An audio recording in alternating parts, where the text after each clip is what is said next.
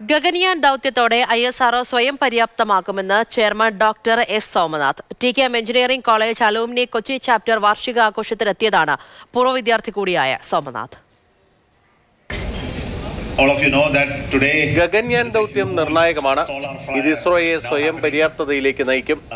താനടക്കം നിരവധി പ്രമുഖർ പഠിച്ചിറങ്ങിയ ടി കെ എം എഞ്ചിനീയറിംഗ് കോളേജിലെ പൂർവ വിദ്യാർത്ഥികളുടെ സംഗമ വേദിയിലാണ് ഡോക്ടർ എസ് സോമനാഥ് പുതിയ പ്രതീക്ഷകൾ പങ്കുവച്ചത്.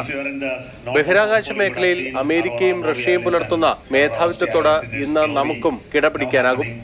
ഇന്ത്യൻ ബഹിരാകാശ പര്യവേഷണ മേഖല ആ നിലയിൽ വളർന്നു കഴിഞ്ഞു.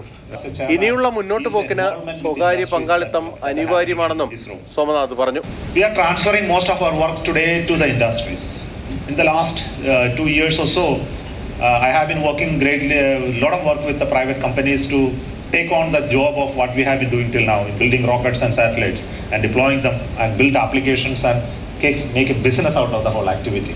T A A tech കോൺക്ലേവും I S TKM chairman ഉദ്ഘാടനം ചെയ്തു ടി കെ എം കോളേജിലെ ആയിരത്തി തൊള്ളായിരത്തി എഴുപത്തിനാല് ബാച്ചിനെ ആദരിക്കുന്ന ചടങ്ങിലും സോമനാഥ് പങ്കെടുത്തു alumni association Kochi chapter president A R Satheesh അധ്യക്ഷനായിരുന്നു മാതൃഭൂമി ന്യൂസ് കൊച്ചി